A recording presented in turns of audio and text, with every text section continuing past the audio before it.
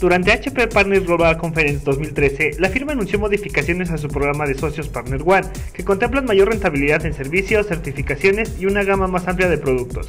El objetivo es desarrollar canales especializados en tecnología y verticales. También presentó programas enfocados en cloud y servicios, así como esquemas de financiamiento más flexibles. El término de simplicidad yo creo que a fin de cuentas va a ayudar a todos nuestros canales, porque si lo vemos a nivel individual, digo, si tú ves cómo cómo desempeñas tu trabajo, qué objetivos tienes. Mientras más claros, más simples eh, sean, y creo que tienes, tienes mucho más eh, certidumbre de, cuál es el, resultado de, tu trabajo. En, realidad no veo ningún riesgo, al contrario. Yo creo que independientemente de cómo están diseñados los incentivos, hoy por hoy vemos dos tipos de canales cómo están evolucionando. O sea, algunos que lo que están haciendo es, por ejemplo, si ya vendo servidores, ver cómo puedo vender almacenamiento y si ya vendo servidores y almacenamiento, ver cómo puedo vender redes y vender software. Lo importante es que cada vez, digo, idealmente quisiéramos que todos nuestros distribuidores vendieran todo, pero el mensaje que les, les damos es no te amplíes si no inviertes en esa profundidad. O sea, si tú dices voy a vender software, pero no tienes la capacidad de hacerlo, generas una mala expectativa y puede hasta costarte dinero. Entonces, realmente por un lado vemos distribuidores que han ido creciendo y venden todo y hoy en día venden desde una PC, una impresora hasta servidores, servicios y venden toda la gama. Y en el otro extremo de distribuidores vemos distribuidores que son de menor tamaño, pero son sumamente especializados. Entonces, por ejemplo, oye, yo vendo respaldo y recuperación de información, almacenamiento. Y entonces no importa que el cliente tenga o sea, o que alguno de nuestros otros distribuidores venda servidores o redes, ellos llegan y tienen la conversación de respaldo y recuperación o el tema de seguridad.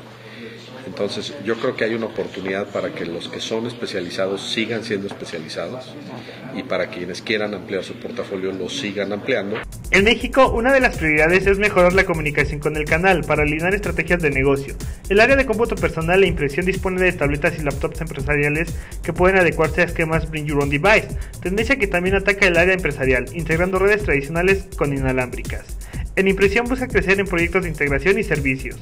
Hoy por hoy, nuestro mensaje a la, comunidad de canales es, nos interesa que todos ven, participen del negocio de software. Y de nuevo, ¿no? hay, que ser selectivos porque cuando ves la suite de productos de software que tenemos es muy amplia, incluye seguridad, incluye eh, todo lo que es eh, las herramientas de administración de los centros de datos, incluye eh, herramientas analíticas, etcétera. Eh, pero queremos que los canales vendan nuestros, nuestros productos de software y algo muy importante es que además los estamos invitando a que participen del negocio de servicios profesionales de software. Cosa que, de nuevo, si nos preguntaban hace un año, ese tema ni siquiera estaba en la mesa, o sea, no era un tema que, que tocábamos. Y la conversación que tenemos con nuestros canales es que, de nuevo, vas a entrar a software, bueno, ¿a qué vas a entrar de software? A seguridad, vas a entrar a eh, monitoreo de red, a, mesa de ayuda y ayudarlos en esa especialización. Por cierto que tenemos algunos canales que solo venden software y no venden hardware. Pues también hay ese extremo de la especialización.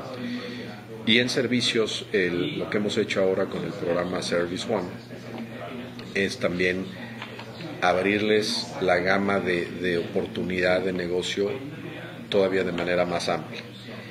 Y, esto qué significa? Significa que si un canal vende nuestros eh, eh, garantías extendidas, contratos de soporte y mantenimiento, hay un negocio para ellos si venden, por ejemplo, la renovación de un contrato, antes no, no, participaban en ese negocio, hoy en día ya participan en ese negocio, o sea, si ellos venden la renovación, tienen un beneficio.